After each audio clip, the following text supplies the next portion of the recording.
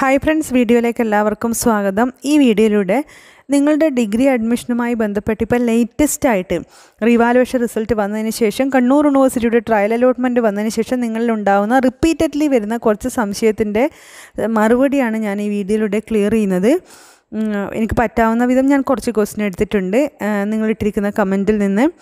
ഒന്നാമത്തേത് എനിക്ക് തോന്നുന്നു എന്റെ ഓർമ്മ ശരിയാണ് പ്രണവ് എം പി എന്നോ മറ്റോ ഒരു പ്രൊഫൈലിൽ നിന്നൊരു കമന്റ് ഒരു കൊച്ചു കുട്ടി നന്നായിട്ട് അതായത് ഒരുപാട് എഴുതിയിട്ടുണ്ട്. അതിൽ നിന്ന് എനിക്ക് മനസ്സിലായത് കുട്ടി രണ്ട് യൂണിവേഴ്സിറ്റി എനിക്ക് തോന്നുന്നു കാലിക്കറ്റ് കണ്ണൂർ രണ്ട് യൂണിവേഴ്സിറ്റികളിൽ അപ്ലൈ ചെയ്തിട്ടുണ്ട്. ഒരു ഓട്ടോണമസ് കോളേജിലും അപ്ലൈ ചെയ്തിട്ടുണ്ട്.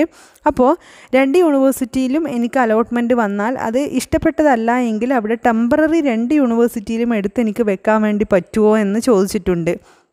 അപ്പോൾ എനിക്കതിന് പറയാനുള്ള മറുപടി നമ്മൾ ടെമ്പററി അഡ്മിഷൻ എടുക്കുവാണെങ്കിലും നമ്മുടെ സർട്ടിഫിക്കറ്റ് സാധാരണ കോളേജിൽ നമ്മൾ വെക്കാറുണ്ട്. അതായത് ഇപ്പോൾ ഫസ്റ്റ് അലോട്ട്മെന്റ് ഇപ്പം നിങ്ങൾക്ക് രണ്ട് യൂണിവേഴ്സിറ്റികളിലും ഫസ്റ്റ് അലോട്ട്മെന്റ് വന്നിട്ടാണ് വന്നിട്ടുണ്ടെങ്കിൽ നിങ്ങൾക്ക് ഹയർ ഓപ്ഷൻ വേണം. ഫസ്റ്റ് അലോട്ട്മെന്റ് കിട്ടി ഇഷ്ടപ്പെട്ടതല്ല ഹയർ ഓപ്ഷൻ മുകളിലുള്ളത് വേണമെങ്കിൽ നിങ്ങൾക്ക് ഈ രണ്ട് യൂണിവേഴ്സിറ്റികളിലും യൂണി യൂണിവേഴ്സിറ്റി മാൻഡേറ്ററി ഫീ അടച്ചുകൊണ്ട് നിങ്ങൾക്ക് അവിടെ നിൽക്കാം. സെക്കൻഡ് അലോട്ട്മെന്റിൽ നിങ്ങൾക്ക് ഇഷ്ടപ്പെട്ടത് കിട്ടുമോ എന്ന് നോക്കിയിട്ട് നിൽക്കാവുന്നതാണ്. അപ്പോൾ രണ്ട് യൂണിവേഴ്സിറ്റിയിൽ മാൻഡേറ്ററി ഫീ അടക്കണം. അപ്പോൾ സെക്കൻഡ് അലോട്ട്മെന്റും ഒക്കെ വന്നു കഴിഞ്ഞതിന് ശേഷമായിരിക്കും മിക്കവാറും ചിലപ്പോൾ ചില യൂണിവേഴ്സിറ്റി തേർഡ് അലോട്ട്മെന്റും ഒക്കെ വന്നതിന് ശേഷമാണ് കോളേജിൽ ജോയിൻ ചെയ്യാനുള്ള സമയം തരിക. അങ്ങനെ ജോയിൻ ചെയ്യാൻ പോകുമ്പോഴാണ് ഒരു അലോട്ട്മെന്റിന്റെ സമയം കൂടി വേണമെങ്കിൽ നിങ്ങൾക്ക് ടെമ്പററി എടുക്കാം. അല്ലെങ്കിൽ കമ്പൽസറി പെർമനന്റ് എടുക്കണം എന്ന് പറയും. അപ്പോൾ പെർമനന്റ് അല്ല പറയുന്ന ടെമ്പററി ഒരു ചാൻസ് ഉണ്ടെങ്കിൽ നിങ്ങൾക്ക് അവിടെയും വേണമെങ്കിൽ ടെമ്പററി എടുത്തുകൊണ്ട് കുറച്ച് വെയിറ്റ് ചെയ്യാം. പക്ഷേ ഈ കോളേജിൽ പോയിട്ട് നമ്മൾ അഡ്മിഷൻ എടുക്കുമ്പോൾ ടെമ്പററി എടുക്കുമ്പോൾ അവിടെ നമ്മുടെ സർട്ടിഫിക്കറ്റ് അവർ വാങ്ങി വെക്കും. അതിനുശേഷം നമുക്ക് അടുത്ത അലോട്ട്മെന്റിൽ ഈ കോളേജിനെ കിട്ടിയെങ്കിൽ നമ്മൾ അവിടെ സർട്ടിഫിക്കറ്റ് വെച്ച് ഫീ അടച്ച് കോളേജിന്റെ ഫീ അടച്ച് യൂണിവേഴ്സിറ്റി മാൻഡറ്ററി ഫീ ഓൾറെഡി അടച്ചിട്ടുണ്ടെങ്കിൽ കോളേജിലെ മറ്റ് കുറച്ച് എക്സ്പെൻസൊക്കെ അടച്ച് നമ്മൾ അവിടെ കൺഫേം ചെയ്യും. അല്ല നമ്മൾ വേറെ ഏതെങ്കിലും കോളേജിൽ നമുക്ക് കിട്ടിയെങ്കിൽ നമ്മൾ അവിടെ വെച്ചിരിക്കുന്ന നമ്മുടെ സർട്ടിഫിക്കറ്റൊക്കെ കളക്ട് ചെയ്തിട്ട് നമ്മൾ മറ്റേ കോളേജിൽ പോയി ജോയിൻ ചെയ്യും. അങ്ങനെയാണ് സാധാരണ ചെയ്യാറ്.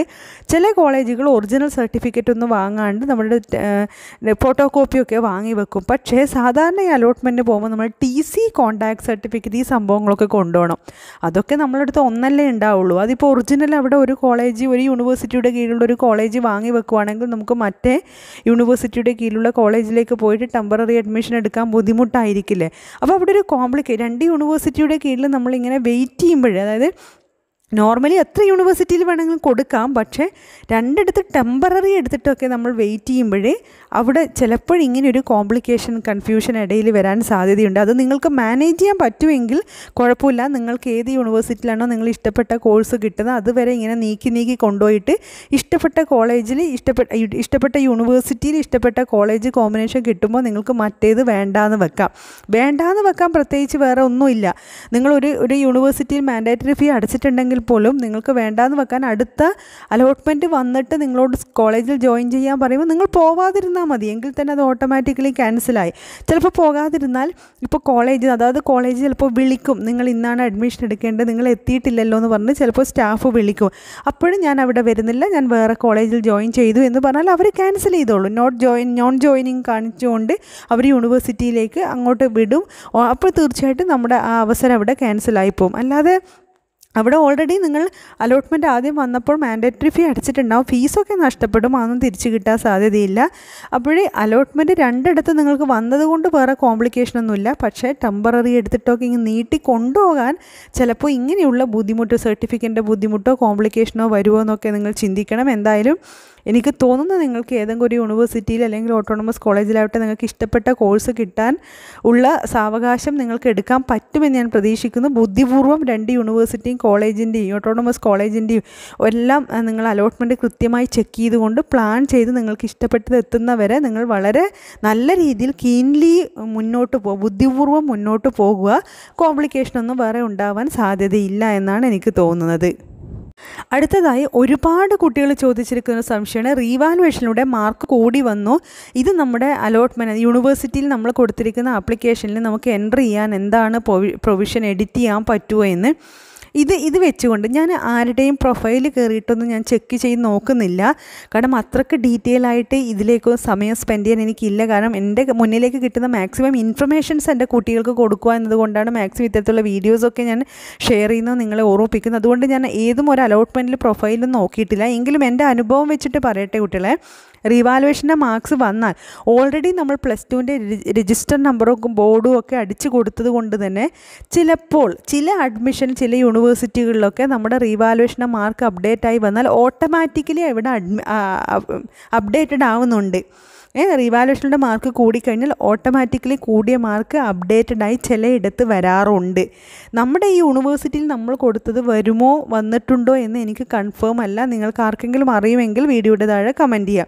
പക്ഷേ മിക്ക ഒരു പക്ഷേ വരാൻ സാധ്യത ഇല്ല എന്നാണ് മുൻ വർഷങ്ങളിലെ എക്സ്പീരിയൻസ് വെച്ചുകൊണ്ട് എനിക്ക് മനസ്സിലാവുന്നത്. അങ്ങനെ ഓട്ടോമാറ്റിക്കലി വന്നിട്ടില്ല എങ്കിൽ തീർച്ചയായും നമുക്ക് ഈ മാർക്ക് എഡിറ്റ് ചെയ്ത് അപ്ഡേറ്റ് ചെയ്യാനുള്ള സമയം യൂണിവേഴ്സിറ്റി തരും.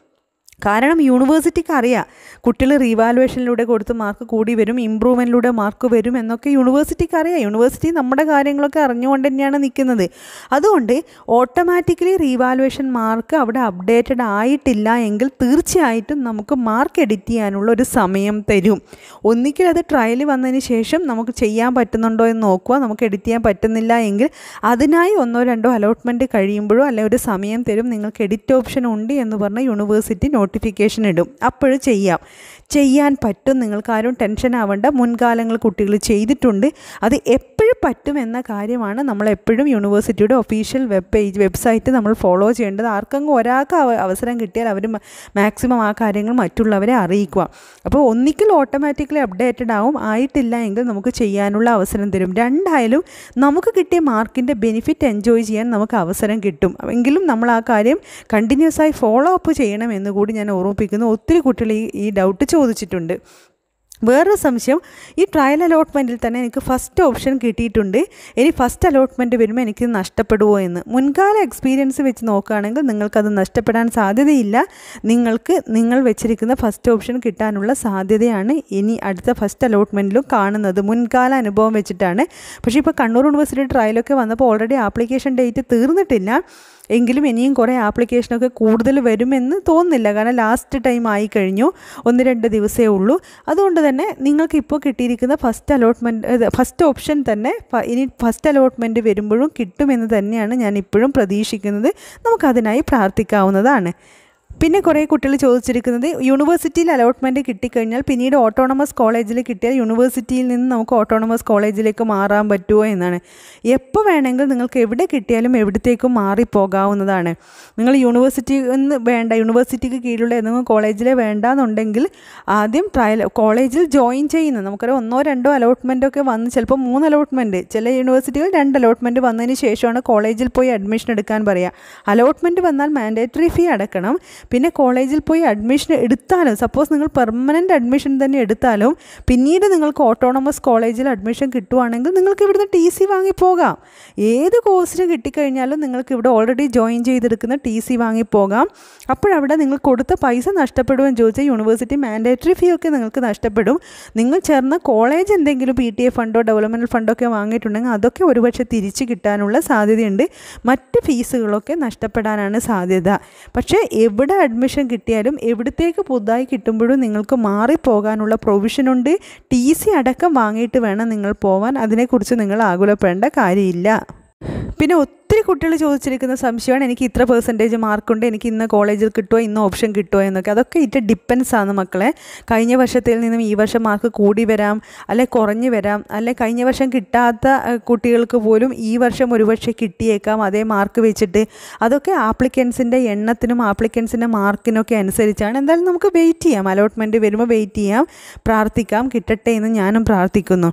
അതോടൊപ്പം കുറേ കുട്ടികൾ ചോദിച്ചിട്ടുണ്ട് നമ്മൾ അലോട്ട്മെന്റ് വന്ന ട്രയൽ അലോട്ട്മെന്റ് വന്നു എനിക്ക് ചെക്ക് ചെയ്യാൻ പറ്റുന്നില്ല എങ്ങനെയാണ് ചെക്ക് ചെയ്യുകയെന്ന് കുട്ടികളെ നിങ്ങൾ ഡിഗ്രിക്ക് അപ്പ് ഏത് യൂണിവേഴ്സിറ്റി ആവട്ടെ നിങ്ങൾക്ക് ഡിഗ്രിക്ക് അപ്ലൈ ചെയ്യുമ്പോൾ നിങ്ങൾക്കൊരു ആപ്ലിക്കേഷൻ നമ്പർ അല്ലെങ്കിൽ നിങ്ങൾക്ക് പാസ്വേഡ് അതൊക്കെ കിട്ടും അല്ലെങ്കിൽ നിങ്ങൾക്കൊരു ക്യാപ്പ് ഐ ഡി പാസ്വേഡ് എന്നൊക്കെ നിങ്ങൾ പറയുന്നുണ്ടാവും. ഇങ്ങനെ കിട്ടിയിരിക്കുന്ന ഡീറ്റെയിൽസ് ഒക്കെ നിങ്ങൾ സൂക്ഷിച്ച് വെക്കുക. ചിലപ്പോൾ അടുത്ത് അത് നമ്മൾ പാസ്വേഡ് നമ്മളേതായി കൊടുത്തതായിരിക്കും അല്ലെങ്കിൽ നിങ്ങൾക്ക് മെസ്സേജായിട്ട് ആപ്ലിക്കേഷൻ ടൈമിൽ വന്നതായിരിക്കും. ഇത്തരത്തിലുള്ള ഡീറ്റെയിൽസ് ഒക്കെ നിങ്ങൾ നോട്ട് ചെയ്ത് വെക്കണം. അത് ഉപയോഗിച്ചിട്ടാണ് ലോഗിൻ ചെയ്ത് ഒഫീഷ്യലി കയറിയിട്ട് നമുക്ക് അലോട്ട്മെന്റ് വന്നിട്ടുണ്ടോ എന്ന് നമ്മൾ ലോഗിൻ ചെയ്ത് നോക്കേണ്ടത്. ഏത് യൂണിവേഴ്സിറ്റിയുടെയും അലോട്ട്മെന്റ് വന്ന് നമ്മുടെ ആപ്ലിക്കേഷൻ നമ്പറും പാസ്വേഡും അടിച്ച് കയറിക്കൊണ്ടാണ് ലോഗിൻ ചെയ്തിട്ട് നമുക്ക് കിട്ടിയിട്ടുണ്ടോ ഇല്ലയോ എന്ന് നോക്കേണ്ടത് അവിടെ നോട്ടിഫിക്കേഷൻ വന്നിട്ടുണ്ടാവും. നമ്മൾ ലോഗിൻ ചെയ്ത് നോക്കി നമ്മുടെ പ്രൊഫൈലിൽ കയറി നോക്കുമ്പോഴേക്കും നമുക്ക് മനസ്സിലാവും. നമ്മുടെ ആപ്ലിക്കേ അവിടെ മനസ്സിലാവും. അപ്പോൾ അത് പ്രത്യേകം ശ്രദ്ധിക്കുക. ഏത് യൂണിവേഴ്സിറ്റി ആണെങ്കിലും ഇനി ചിലവർ പറയുന്നു പാസ്വേഡ് ഓർമ്മയില്ല മറന്നുപോയിന്ന്. മക്കൾ ഏതിന്റെ പാസ്വേഡ് മറന്നാലും ഫോർഗോഡ് പാസ്വേഡ് കൊടുത്താൽ നമുക്ക് പുതിയ പാസ്വേഡ് സെറ്റ് ചെയ്യാനുള്ള പ്രൊവിഷൻ ഉണ്ട്. അപ്പോൾ അതിനെക്കുറിച്ചൊന്നും ആകുലപ്പെടേണ്ട ഇനി ഒരു തരത്തിലും നിങ്ങൾക്ക് പറ്റുന്നില്ലെങ്കിൽ യൂണിവേഴ്സിറ്റിയായി കോൺടാക്ട് ചെയ്താലും നമുക്കതിനുള്ള ഹെൽപ്പ് ഡെസ്കും പ്രൊവിഷൻസും ഒക്കെ ഉണ്ട്. ഇതിനെല്ലാത്തിനും പരിഹാരമുണ്ട്. അതൊന്നും ആരും ആകുലപ്പെടേണ്ട കാര്യമില്ല. പക്ഷേ നോർമലി നിങ്ങളുടെ ആപ്ലിക്കേഷൻ നമ്പറും അതായത് ക്യാപ് ഐ ഡി പാസ്വേഡൊക്കെ നിങ്ങൾക്ക് ഓർമ്മ വേണം. അത് ഉപയോഗിച്ചാണ് നമ്മുടെ അലോട്ട്മെന്റൊക്കെ നമുക്ക് ചെക്ക് ചെയ്യാൻ പറ്റുകയുള്ളൂ. പിന്നെ ഒന്ന് രണ്ട് കുട്ടികൾ ചോദിച്ചിരിക്കുന്ന കാര്യമാണ്. നമുക്ക് അലോട്ട്മെന്റ് വന്നാൽ ഇപ്പോൾ ഫസ്റ്റ് അലോട്ട്മെന്റിൽ അലോട്ട്മെന്റ് വന്നു കഴിഞ്ഞാൽ നമ്മൾ ഉടനെ യൂണിവേഴ്സിറ്റി ഫീ അടച്ചിട്ട് നമ്മുടെ അലോട്ട്മെന്റ് നമ്മൾ സ്വീകരിച്ചു നമ്മളതിന്റെ ഭാഗമാകുന്നു എന്ന് ഉറപ്പിക്കണം. ആ നിശ്ചിത ദിവസത്തിനുള്ളിൽ യൂണിവേഴ്സിറ്റി ഫീ അടച്ചിട്ടില്ലെങ്കിൽ നമ്മൾ അടുത്ത അലോട്ട്മെന്റിൽ പരിഗണിക്കില്ല നമ്മൾ അലോട്ട്മെന്റ് പ്രോസസ്സിൽ നിന്ന് പുറത്താവും. അപ്പോൾ കുറേ കുട്ടികൾ ചോദിച്ചിരിക്കുന്നത് യൂണിവേഴ്സിറ്റി ഫീ വലിയ ഫീസ് ആയിരിക്കുമോ എന്നാണ്.